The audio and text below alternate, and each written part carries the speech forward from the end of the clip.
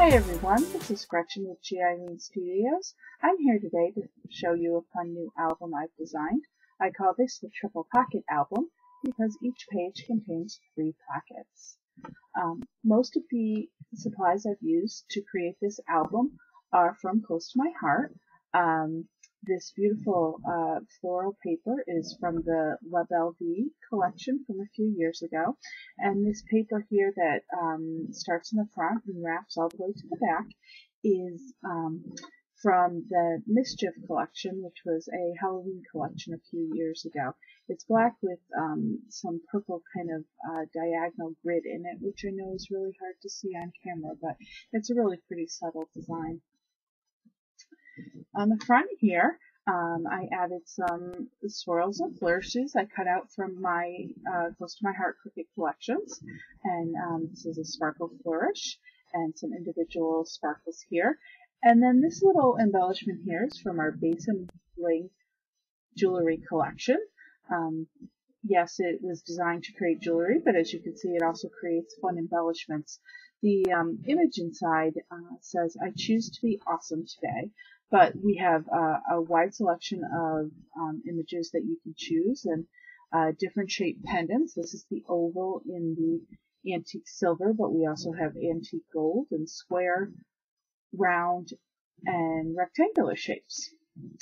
Um, this ribbon here is uh, when I bought it was a um, a white organdy ribbon and uh, I just wanted it to match the colors of the album better so I took my uh, my smoky plum ink and I uh, dyed it that color to match.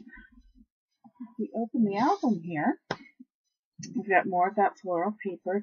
This stripe is from the Moonlight collection, which was another Halloween collection. Um, but as you see, I put all the whites and blacks and creams and purples together uh, to create a look that's not quite Halloween, but um, really pretty elegant kind of color combination. So this is our first page, and you see here, this is an on-page pocket. I used our scallop border punch to create a fun edge there. And it contains a tag here where you can put two 4x6 photos.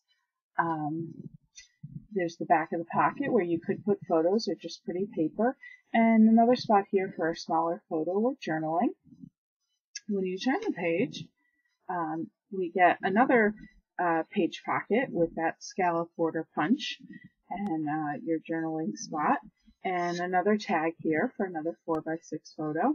And then um, that was holding down this flap here.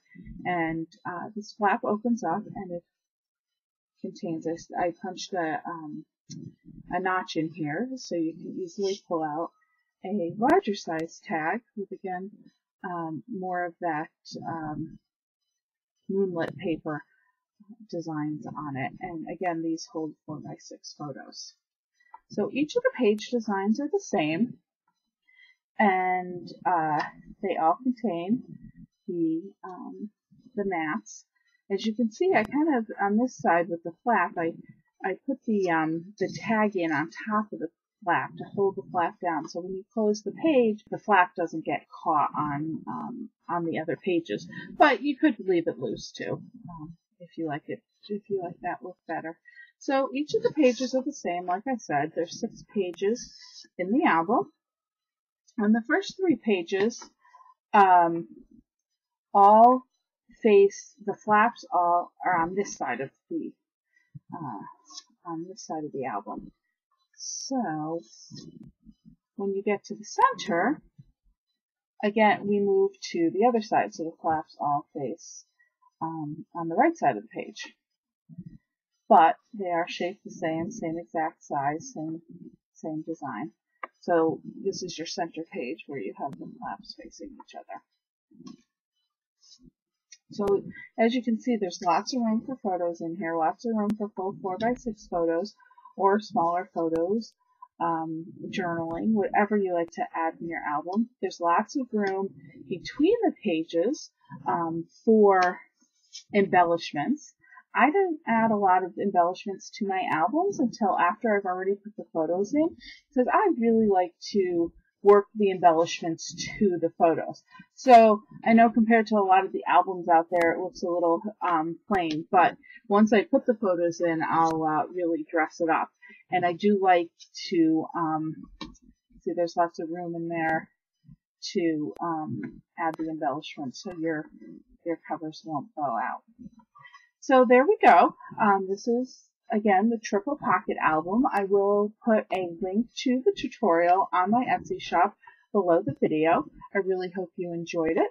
Um, see you soon. Bye.